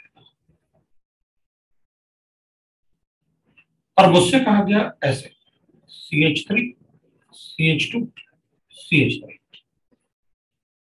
इसको मैंने सी एल टू से रिएक्ट करवाया। और ऐसे लिखा हुआ है। तो फिर तो तुरंत पता चल गया अच्छा ऐसे लिखा हुआ है मतलब सनलाइट की बात कर रहे हो तो फिर रेडिकल मैकेनिज्म अब रेडिकल मैकेनिज्म होगा तो इसका रेड अब अपन को ऐसा नहीं सारा लिखना है। नहीं मेरे दिमाग में यह है कि इसका रेडिकल बनेगा, वो इसका रेडिकल बनाएगा। वैसे अपन ने क्लास में पढ़ा हुआ है, क्योंकि तुम लोग तो काफ़ी आगे पढ़ चुके ना जीओसी टू वगैरह एरोमेटिसिटी वगैरह सब हो गया। तो इसमें Cl2 अगर इससे रिएक्ट करेगा रेडिकल से तो पहले रेडिकल बनेगा इसका। फिर इसका क्लोरिनेटेड प्रोडक्ट बनेगा। मैंने आपको पूछ रखा है, बताओ इसके कितने मोनोक्लोरिनेटेड प्रोडक्ट बनेंगे? लिखा हुआ अपने पोजिशनल में तो अपन क्या करेंगे, इसका रेडिकल बनाएँगे। इसका रेडिकल पहले इसका रेडिकल बनाएगा। अपन को पता है डिटरमिनिंग स्टेप में इसका रेडिकल बनेगा। इसके दो ही रेडिकल बन सकते हैं, या तो वन डिग्री बनेगा या टू डिग्री बनेगा। या तो वन डिग्री रेडिकल बनेगा या टू डिग्री रेडिकल बनेगा तो ही रेडिकल बन सकते हैं। बताओ दोनों में से ज़्यादा स्टेबल कौन? कौन सा रेडिकल ज़्यादा स्टेबल होगा? अच्छा ब्रेक चाहिए तो ले लो कोई प्रॉब्लम नहीं। ले लो ब्रेक सर वन डिग्री वाला ज़्यादा स्टेबल होगा। तो अपन कहेंगे टू डिग्री वाला ज़्यादा स्टेबल है उसमें हाइपर कॉन्जुगेशन ज़्यादा है। हाँ sir six alpha hydrogen six alpha hydrogen atom है वन डिग्री वाले में तो दो ही अल्फ़ा हाइड्रोजन आटम है मैं बस तो पूछ रहा कि, सर ब्रेक ले लो। उसमें क्या ये किसने पूछा कि तुम ब्रेक मत लो? चाहता हूँ तो ब्रेक लो। क्लास मतलब ठीक है, अपनी मर्ज़ी से जो करना है करो। मैंने कब कहा तो क्लासेस कम मिल रहे हैं अपन थोड़ा सा मतलब अब पढ़ रहे हैं तो उसमें ब्रेक भी ले लो। चलो कोई बात नहीं। ले लेंगे ब्रेक तो। तो अपन क्या करेंगे जब भी कोई कंपाउंड गिवन होगा तो सबसे पहले अपन ये चेक करेंगे कि कौन से सी एच बॉन्ड को ब्रेक करके अपन को ज़्यादा स्टेबल रेडिकल मिलेगा। तो अपन चेक करेंगे भाई इसको ब्रेक करें तो वन डिग्री इसको ब्रेक करें तो टू डिग्री टू डिग्री तो जो ज़्यादा स्टेबल रेडिकल होगा वो उसका रेट बनने का फास्टर होगा। फिर रेट डिटर्मिनिंग स्टेप का क्या मतलब है? अपन कहेंगे, मान लो तो एक जनरल सेंस में अपन देखते हैं कॉमन सेंस भाई डिटर्मिनिंग स्टेप को क्या समझे मान लो, एक साइकिल फैक्ट्री वहाँ पे आप थाउजेंड्स ऑफ़ टायर बनाते हो थाउजेंड्स रिंग बनते हैं थाउजेंड्स उसके पेडल्स बनते हैं। लेकिन एक सेक्शन में जहाँ हैंडल बनते हैं, वो सिर्फ़ ट्वेंटी फाइव बनते हैं एक दिन में।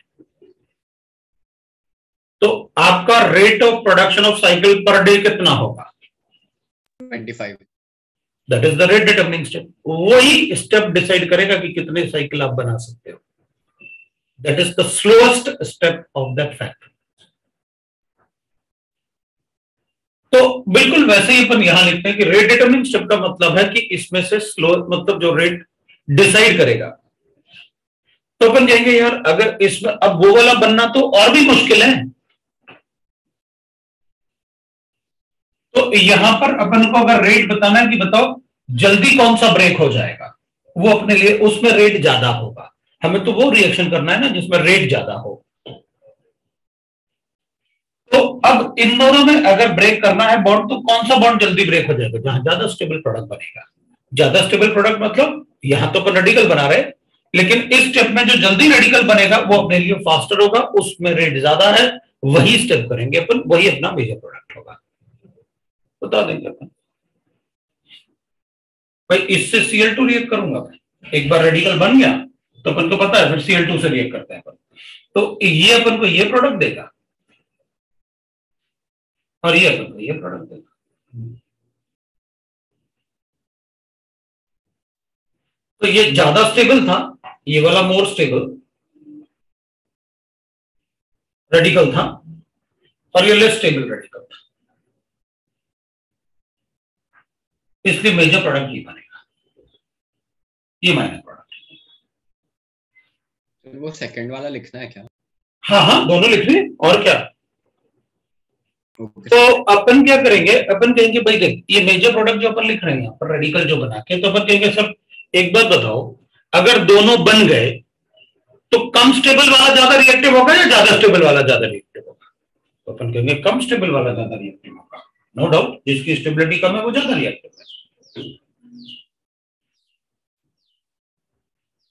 राइट ना? लेकिन अपन क्या कहेंगे कि भाई पहले तो इस स्टेप पे डिपेंड करेगा ना कि ये बने।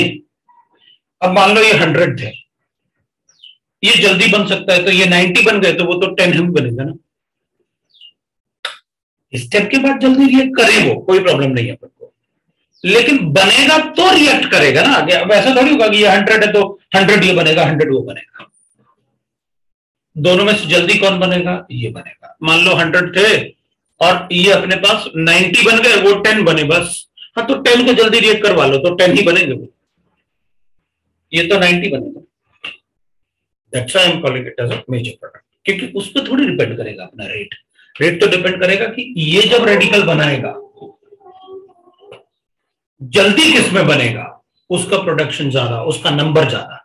जिसका नंबर ज़्यादा और उसका प्रोडक्ट भी ज़्यादा। सी एल से तो रिएक्ट करेगा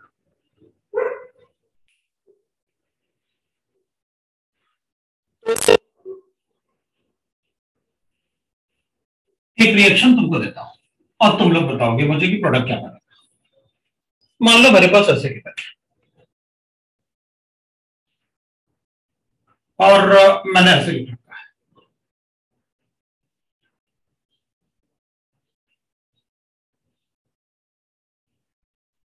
और मैं इसको बी आर टू लिख लेता हूँ और यूवी रेडिएशन मान लिया मैंने। एनर्जी का वो तो कुछ भी हो सकता है। और एक ऐसे दिया।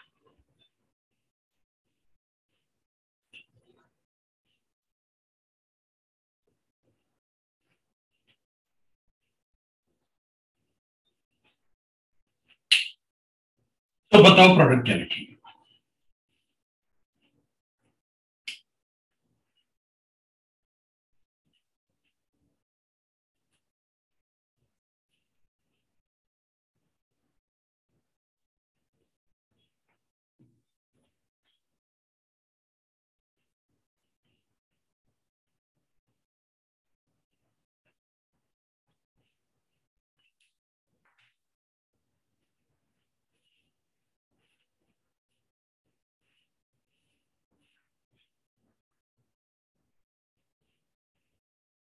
इसके बाद अपन ब्रेक ले लेंगे। रुकना थोड़ी देर। मतलब जो चल रहा है कंटिन्यूशन में इसलिए मैं चाहता था रुक जाए ले लेते ब्रेक तो मुझे भी चाहिए। फ़र्स्ट वाले में वो मिडल वाला ब्रेक होगा ना सी एच वाला? बिल्कुल क्योंकि ये थ्री डिग्री रेडिकल बनाएगा। हाँ सर बिल्कुल तो फिर उस पर भी आर ऐड कर लेते हैं। फिर पूरा थोड़ी लिखने की ज़रूरत है। अपन कहेंगे ये वाला ज़्यादा। अब इससे भी ब्रेक कर सकता था इससे भी ब्रेक कर सकता था लेकिन मेजर प्रोडक्ट अपना ये बनेगा अब माइनर बनाना है तो तीनों में से किसी पे भी लिखो एक ही बात। है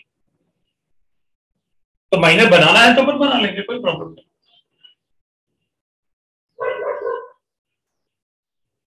ये लो भाई माइनर माइनर वाला भी बनाना पड़ेगा। आ, हाँ बनाना चाहिए अपन को। बट मेजर अगर प्रोडक्ट बताना है ना कि प्रोडक्ट क्या है रिएक्शन में तो अपन को सिर्फ़ यही बताना पड़ेगा ये प्रोडक्ट है अगर माइनर पूछे तो माइनर बनाओ।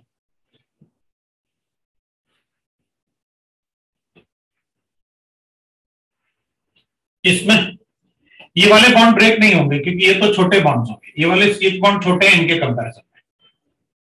इधर हाइड्रोजन है नहीं है, क्योंकि इधर चार बॉन्ड बने हुए हैं।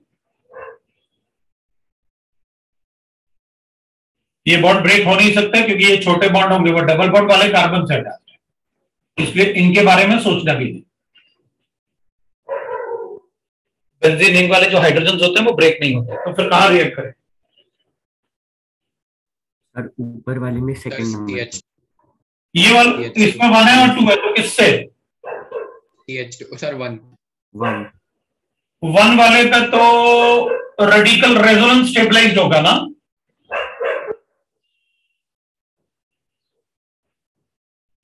तो बहुत जल्दी बनेगा ये तो।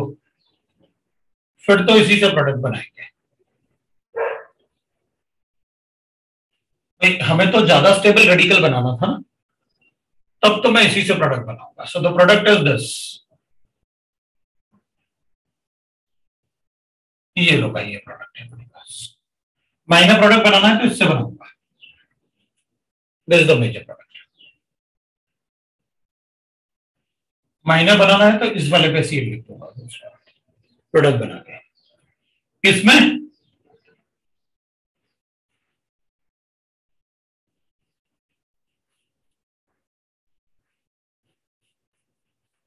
सर उसमें रिंग वाला हाइड्रोजन निकाल सकते हैं।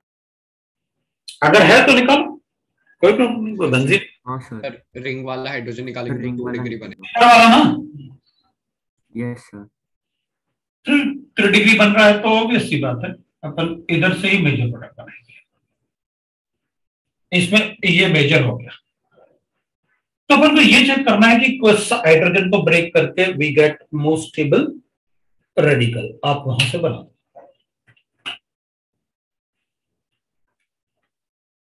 सर वो सी वाले में ये बेंजीन वाले हाइड्रोजन क्यों नहीं निकाल सकते? वो एक्चुअली वहाँ पर बॉन्ड छोटे होंगे ना।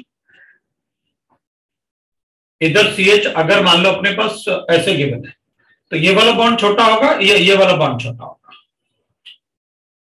तो ये कार्बन ज़्यादा इलेक्ट्रोनेगेटिव है। तो इसके इलेक्ट्रॉन को ज़्यादा पुल करके रखेगा अपनी तरफ़। ये कम इलेक्ट्रोनेगेटिव है, इसके कंपैरिजन ये ज़्यादा इलेक्ट्रोनेगेटिव है।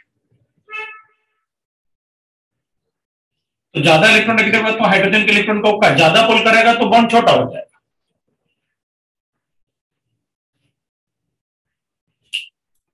सर रिंग वाले हाइड्रोजन को निकालने के बाद जब उस पर रेडिकल आ जाएगा तब भी क्या वो एरोमेटिक होगा क्या? कंपाउंड हाँ।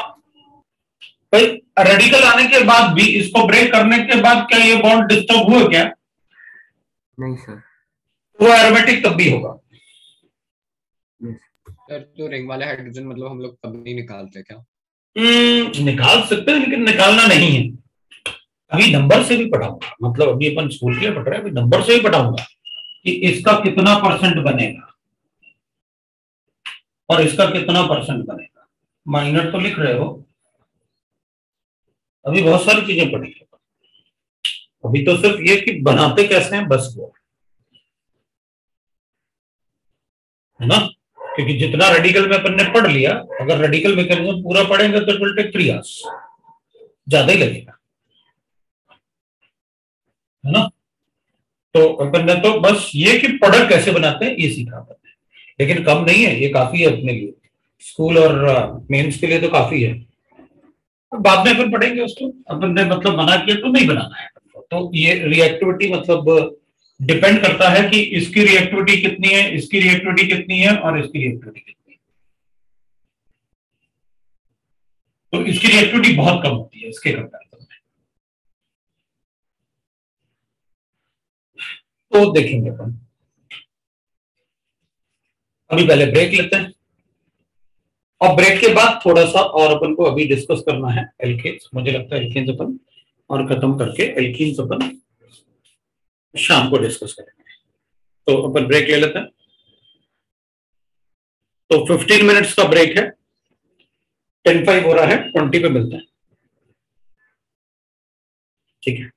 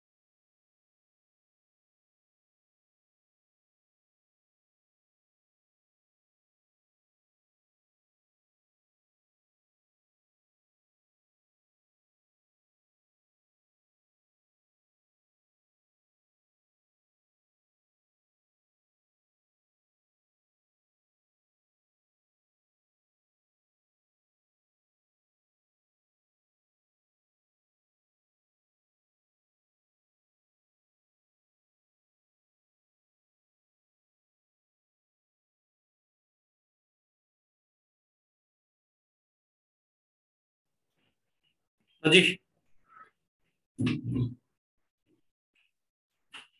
शुरू करते हैं। ये तो था अपना हेलोजिनेशन राइट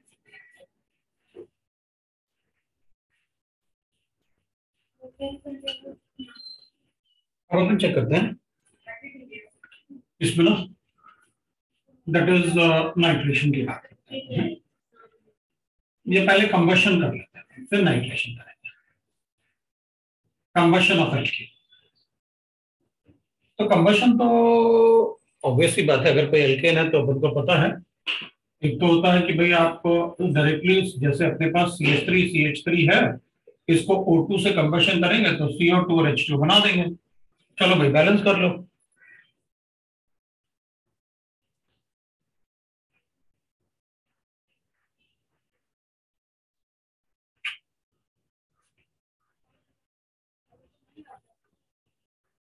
है ना?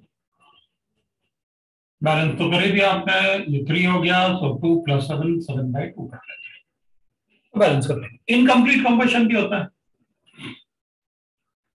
ये कंप्लीट कंबशन है। एक इनकम्प्लीट कंबशन भी इनकम्प्लीट कंबशन अगर है तो अपन क्या करते हैं उसमें कि भाई जैसे C H three C H three है, इसको O2 से उतना ही रिएक्ट करेंगे कि ये कार्बन प्लस वाटर बने। That is incomplete combustion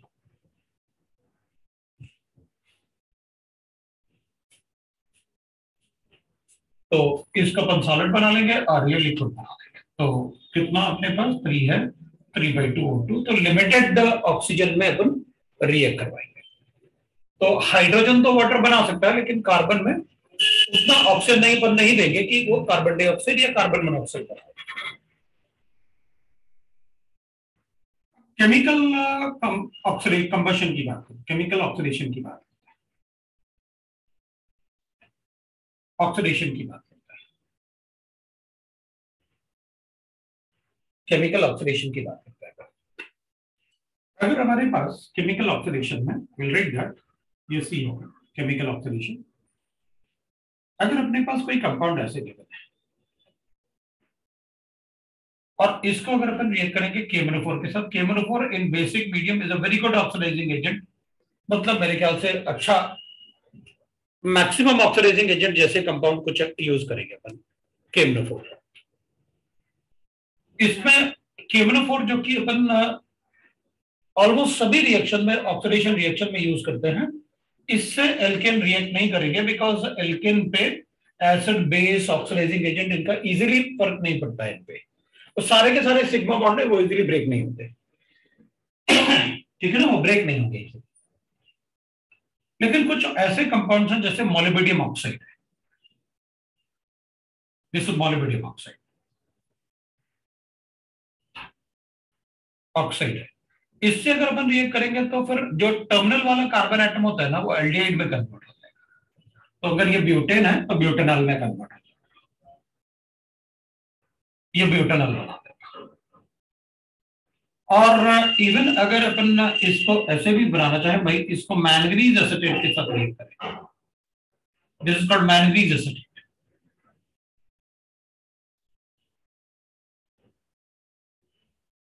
acetate से रिएक्ट करेंगे अगर अपन तो फिर ये टर्मिनल वाला कार्बन एटम कार्बोक्सिलिक एसिड में कन्वर्ट हो जाता है। तो ब्यूटेनोइक एसिड बन जाएगा ये ऑक्सीडेशन लेकिन अगर इसकी जगह अपन भाई ऐसा मतलब if have three degree C H bond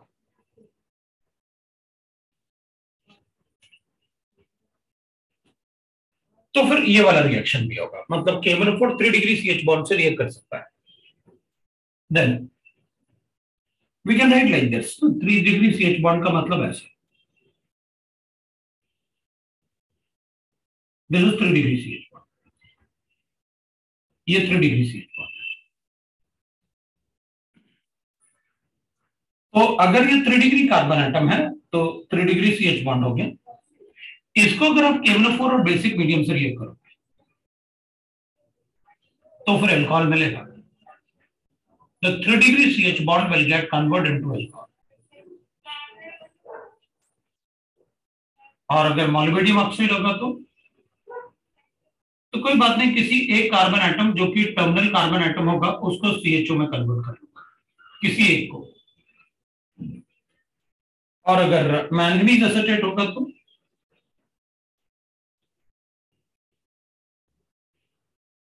तो फिर किसी एक कार्बन एटम को अपन carboxylic acid terminal carbon atom को कार्बोक्सिलिक एसिड में convert. That is how we'll get the product.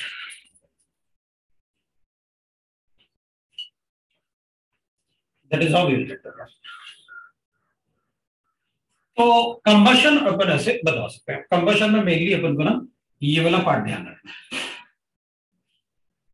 इनसे कोई क्वेश्चन नहीं पूछने वाला। ये तो अपन को ऑलरेडी पता इसको अपन जनरली कंट्रोल्ड ऑक्सीडेशन भी कहते हैं। ऑक्सीडेशन या कैटालिटिक ऑक्सीडेशन कंट्रोल्ड ऑक्सीडेशन या कैटालिटिक ऑक्सीडेशन भी कहते हैं।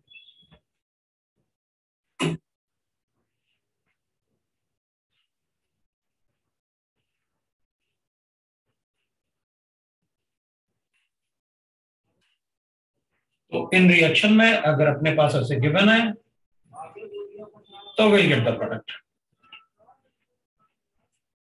molybdenum oxide या फिर मैंगनीज एसिटेट इनसे रिएक्शन मिलेगा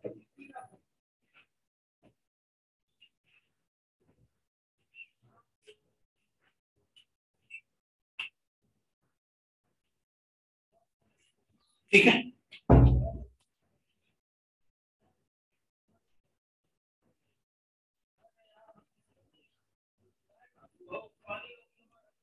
The next property we can write is isomerization or aromatization.